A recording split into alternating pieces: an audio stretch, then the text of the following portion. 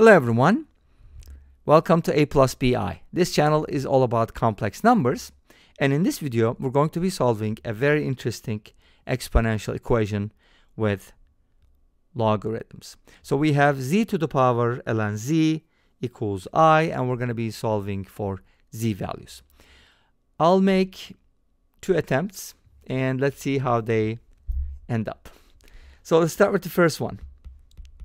For my first method, I'd like to replace z with polar form r times e to the power i theta.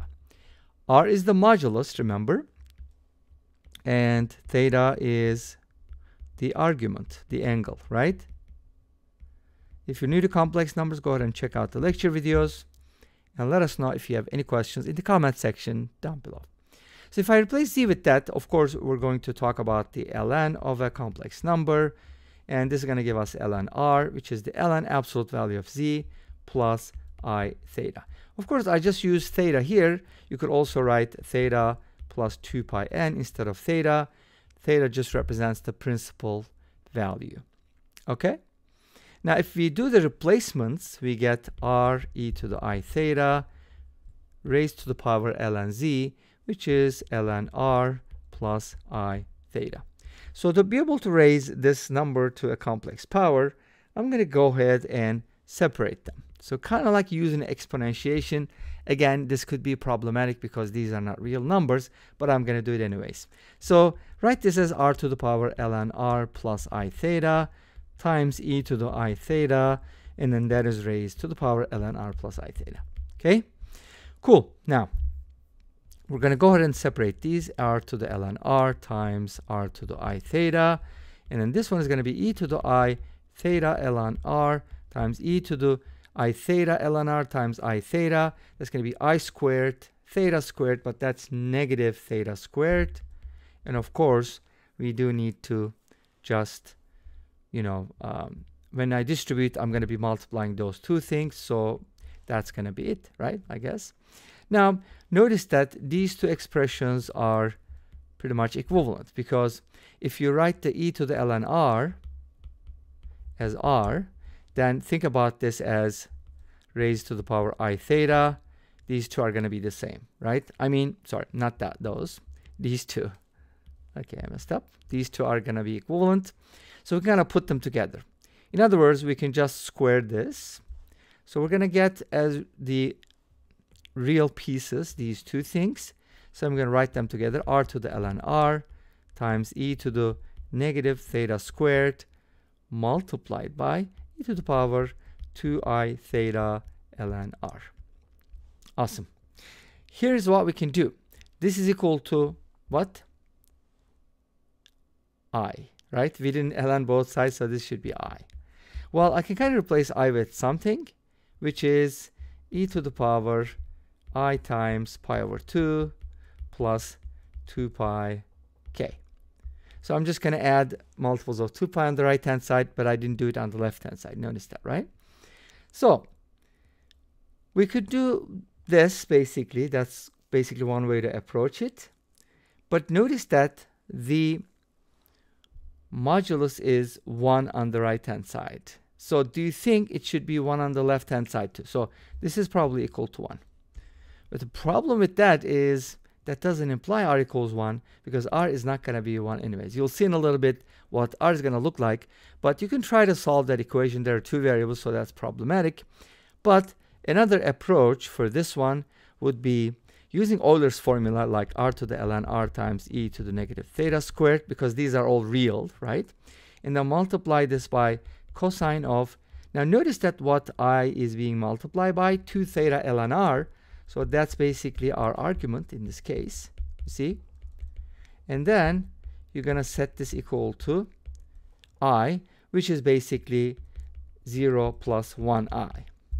So when you distribute, set this product equal to 0, set that product equal to 1, you'll get a system and hopefully you'll get something from there, right?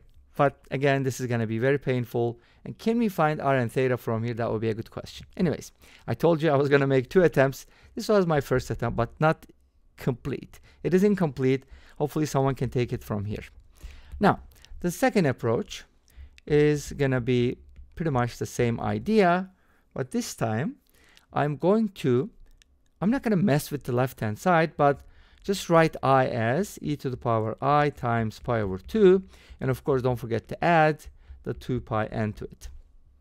And then we can do the natural logs, and that will be helpful. If we do the natural log here and here, things would simplify a great deal. And you can basically bring down ln z. Can we always do that, by the way, with complex numbers? That would be a good question. ln z squared equals, and now this whole thing is going to be the answer because ln e is 1. But we got to be careful here because the expression inside the parentheses is on the right hand side. If it if that's a negative quantity, then we're kind of talking about square roots of negative times i. And the argument in that case is going to be 3 pi over. So think about 3i or negative 3i, right?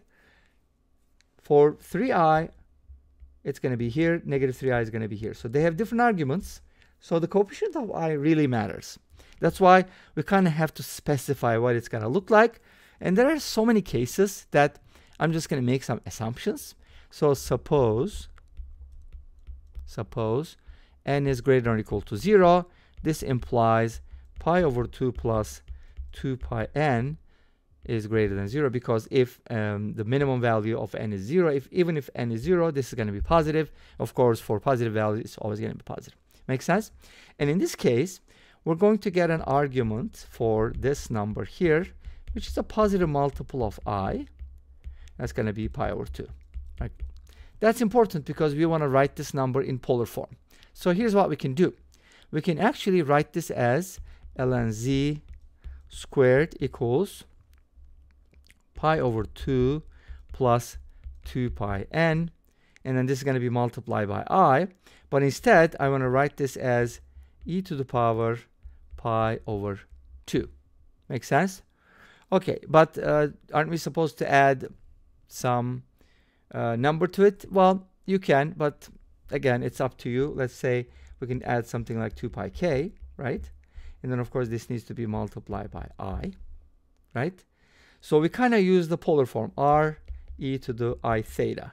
And this is the theta, the argument. Remember, I told you the argument is going to be pi over 2. That's where that comes from. Make sense? Okay, now we're going to take square roots. And let's just go with the positive square root. Again, the negative square root is going to be similar uh, because we're going to be, uh, they're going to be opposites. So we're going to square root this. Makes sense? And then we're going to cut the angle in half here. It's going to be pi over 4 plus pi k, and all of that is multiplied by i. So notice that there are two square roots if k is 0 and if k is 1.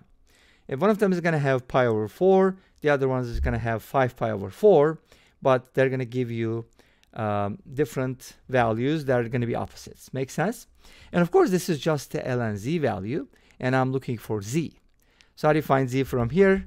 By doing e to the ln z.